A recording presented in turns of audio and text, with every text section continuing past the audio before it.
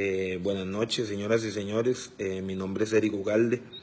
Yo soy eh, costarricense. En estos momentos estoy en Managua, Nicaragua, y vengo a comentarles un poco sobre la situación que se vive en estos momentos en este, en este país. El asunto es el siguiente. En este país aquí no está pasando nada. O sea, aquí no está pasando nada.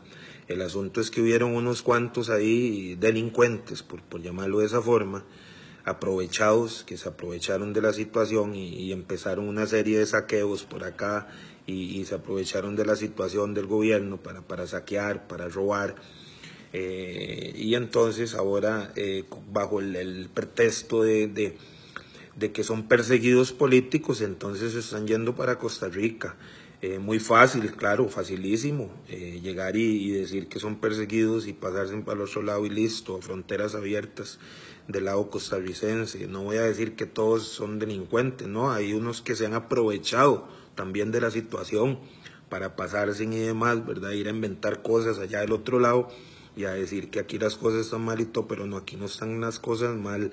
De hecho, yo estoy aquí muy bien, de hecho, estoy muy bien acá, se me trata muy bien y eh, lo que quiero decirles es eso, que tener mucho cuidado eh, eh, del otro lado porque se están yendo de acá personas que, que, hacen daños, personas que han hecho daños, personas que son perseguidos, y es cierto, pero son perseguidos por serie una serie de delitos que han cometido en este país. Eh, para nadie es un secreto, en Costa Rica o en Nicaragua, en cualquier parte del mundo, si usted se tira a la calle, empieza a saltar a la gente, empieza a hacer saqueos, empieza, toda la policía tiene que tirarse a controlar esa situación, y es lo que ha pasado en este país. ¿entiende? Han cerrado carreteras y todo y la policía ha tenido que intervenir y encargarse como cualquier otra policía, cualquier parte, ¿entiende? De asegurar el libre tránsito a los ciudadanos nicaragüenses.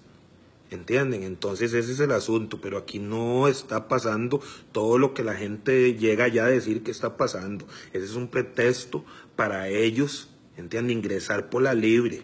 Y al gobierno de Costa Rica le digo, tengan cuidado, porque están, están haciendo lo que no deben. ¿Y qué es lo que no deben? Bueno, están dándole encabida a un asunto, ¿entiende? Donde los únicos que se van a ver afectados son los costarricenses.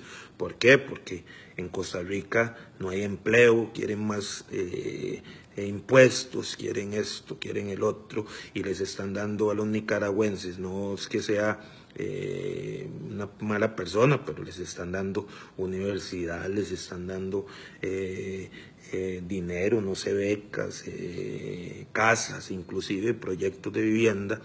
Y, están dejando al costarricense, al que le cobran impuestos, porque a ese sí le están cobrando impuestos, ¿entiende? A los ilegales no, porque no pagan impuestos, pues son, son ilegales, pero a los costarricenses les están cobrando impuestos y a eso los están dejando de lado sin casa, sin bonos, sin esto, sin el otro. Y esos son los que tienen derecho a eso porque son los que están pagando por eso, son los que están pagando impuestos. Entonces tener mucho cuidado con ese timito de que de que es que vienen a trabajar y que el esfuerzo, y eso, es mentira. Si usted llega y se va ante la finca del vecino y siembra donde la finca del vecino y después llega la cosecha, entonces agarra la cosecha y, y te vas y la vendes, entonces ¿qué ganó el vecino? El vecino no va a ganar nada. Entonces, todo ese dinero que ellos ganan y todo ese dinero que todo, todo ese dinero viene para acá, para Nicaragua. Todo ese dinero llega y queda acá. Ese dinero se devuelve. Entonces, a ponerle cuidado, pues el que está derecho, pues está derecho, y el que no, entonces a poner mucho cuidado, porque ojo, se están yendo personas con corazón frío de acá, personas que se pueden jalar un tortón en cualquier momento allá en Costa Rica. Eh, muchas gracias.